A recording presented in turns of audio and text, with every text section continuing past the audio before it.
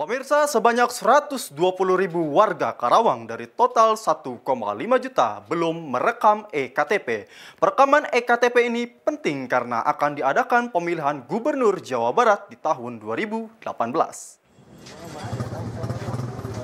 Dari data Dinas Kependudukan dan Catatan Sipil atau Disduk Capil Karawang, ada 120 ribu warga Karawang belum merekam EKTP. Untuk mengatasi hal itu, Disduk Capil mengambil langkah dengan mengundang warga yang belum terekam EKTP untuk datang ke kantor kecamatan setempat supaya melakukan perekaman EKTP. Diharapkan target 100 pers perekaman EKTP sebelum bulan Desember bisa tercapai. Untuk itu, partisipasi masyarakat dibutuhkan untuk merekam EKTP. Sementara, Karawang saat ini masih kekurangan blanko EKTP sekitar 80 ribu keping. Meskipun warga belum memiliki EKTP, tapi warga dapat memberikan suara di Pilkada Jawa Barat dengan memakai surat keterangan dari Disduk Capil kalau yang bersangkutan sudah melakukan perekaman EKTP tapi belum mendapat keping EKTP. Tapi tempatnya nggak ada. Alamatnya sebanyak 120 ribu 120 ribu. ya yang belum merekam hasil data Hmm. antara pusat dan kita Hmm.